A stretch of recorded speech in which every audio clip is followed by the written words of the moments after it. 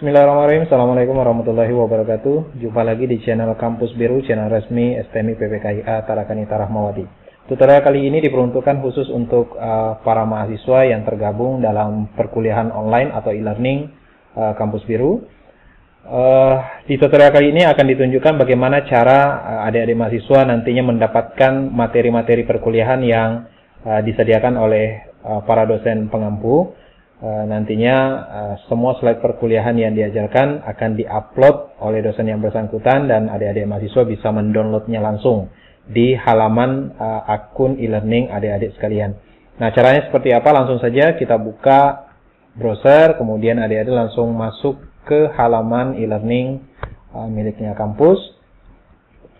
Kemudian langsung login saja adik-adik sekalian menggunakan account uh, yang sudah didaftarkan. Bagi yang belum daftar, silahkan daftar terlebih dahulu. Bagaimana caranya? Lihat tutorial yang pertama, uh, tutorial untuk mahasiswa.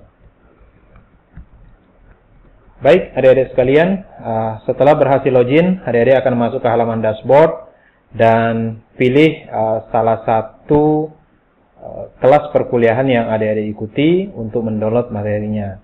Misalkan di bagian course overview ini, ini kelas-kelas yang adik-adik kalian ikuti uh, sesuai dengan jadwal KRS-nya akan tampil di halaman course overview ini. Nah, misalkan kita pilih uh, mata kuliahnya atau kelas perkuliahannya, misalkan pengolahan citra ini.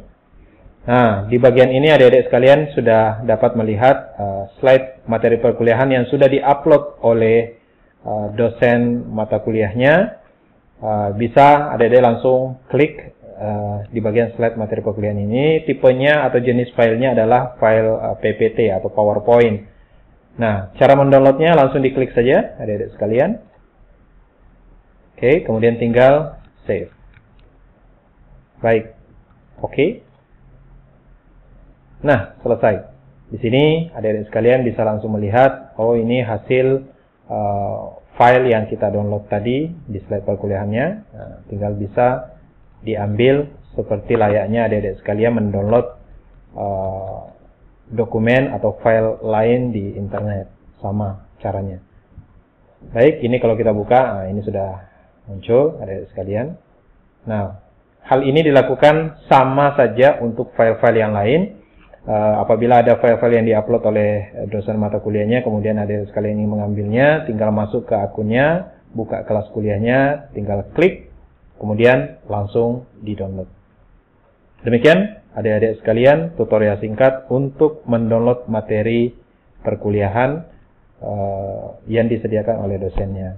Di tutorial berikutnya nanti kita akan belajar bagaimana cara mengerjakan tugas uh, secara online uh, atau bagaimana cara mengirim tugas uh, ke dosennya sesuai dengan uh, jadwal yang ditentukan. Jadi tetap di channel ini dipelajari semua agar nanti perkuliahan online-nya bisa berjalan dengan baik.